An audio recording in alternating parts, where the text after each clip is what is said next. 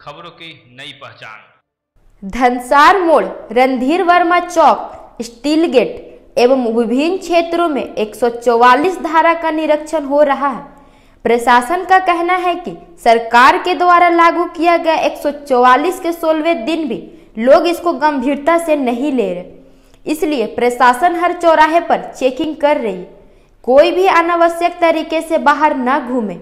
सिर्फ़ काम या इमरजेंसी वाले लोग ही बाहर जाए। बात को और आगे बढ़ाते हुए उन्होंने बताया कि सरकार आम लोगों से अपील कर रही है, अनावश्यक बाहर न घूमे, घर पर ही रहे, सुरक्षित रहे। यदि कोई भी अनावश्यक बाहर घूमते हुए पकड़े जाते हैं तो उनके ऊपर कानूनी कार्रवाई की जाएगी। जिनके लिए बढ़ाई दी गई है, जिसके कारण सर चेकिंग को जो प्रथा है चेकिंग जो हमारे इक्कीस दिन से और ज़्यादा चल रही थी, उसको और ज़्यादा हार्ड कर दिया गया है।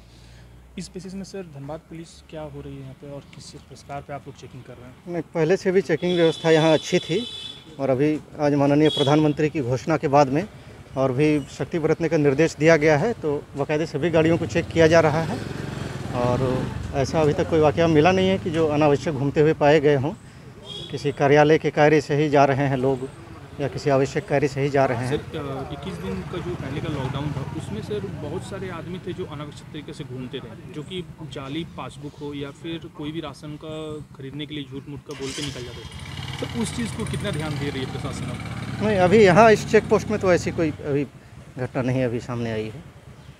सर अभी जो 21 दिन का लॉकडाउन है सर 21 दिन के बाद 19 दिन का लॉकडाउन हो चुका है। इसमें सर आप लोगों का क्या कहना पड़ेगा? क्योंकि सर आम आदमी को बहुत ज़्यादा प्रॉब्लम सेल प्रॉब्लम फेस करनी पड़ रही है ये उन्नीस दिन के लॉकडाउन में और भी ज़्यादा। क्योंकि सर राशन का हो या फिर सब्ज़ी मार्केटिंग हो या फिर और भी कुछ काम ही हो जिसके कारण इंसान को दो बजे तक ही कंप्लीट कर लेना पड़ेगा उसके बाद आपको घर पर जाना हाँ राशन सब्ज़ी के लिए तो छूट दी गई है उस अवधि में हम लोग उसमें छूट दिए हुए हैं। सर, जो चीज़ जैसे दो बजे के बाद अगर कोई भी इंसान बाहर घूमते हुए जाए तो उसकी क्या कानूनी कार्रवाई कर रहे हैं आप लोग? नहीं, पहले तो समझा बुझा के घर भेजने का प्रयास किया जा रहा है कि अनावश्यक घूमना जो है सही नहीं है, देश का जो कंडीशन है अभी। और उसके बाद यदि ऐसा देखा जाता है कि नहीं, अनावश्यक घूम रहे हैं तो फिर उनको चलान के लिए फिर भेजा जाता है थाने में गाड़ी सहित। वन एट्टी एट के धारा आई की धारा वन एट्टी एट में उसमें आपका चलान उसमें आपको लागू किया जा रहा हाँ है। हाँ हाँ। अच्छा इसमें आप लोग उसको वन एट्टी एट के धारा उसमें लगाते हैं जी बिल्कुल। थैंक यू सर अभी जो महामारी चल रही है कोरोना वायरस कोविड नाइन्टीन की उसके कारण उन्नीस दिन लॉकडाउन और बढ़ाया चुका है तो सर आप लोग प्रशासन के हिसाब से आप लोग कैसे काम कर रहे हैं?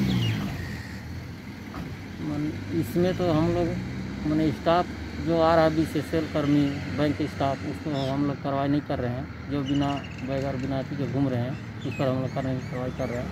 अच्छा जो अनावश्यक तरीका से जो घूम रही है रोड पर जो कि जैसे झूठ मूठ का जो मेडिकल पास दिखा देता है या फिर कोई भी चुटका दिखा के निकल जाता है उसमें वेरीफाई के मैंने मेडिकल सारा चीज़ करके हम लोग देखते हैं। मैंने से पूरा वेरीफाई करते हैं उसके बाद हम करते हैं। जो अनावश्यक जो घूमते हैं फिरते हैं जिस पर हम लोग कार्रवाई कर रहे हैं चलान कटवा रहे हैं। सर अभी जैसे एक सौ वन एट्टी एट धारा आई के वन एट्टी एट धारा में अभी ये भी चल रहा है कि अगर कोई भी अनावश्यक तरीका से घूमे जाए तो उसको वन आई के धारा वन एट्टी एट में लगा लागू किया जा रहा है। तो सर ये क्या आप लोग इस चीज़ को कर रहे हैं? इसमें वरी वो सब वरीय पदाधिकारी लोग मैंने इसमें कर रहे हैं। आगे कार्रवाई क्या करना है उसमें। धन्यवाद।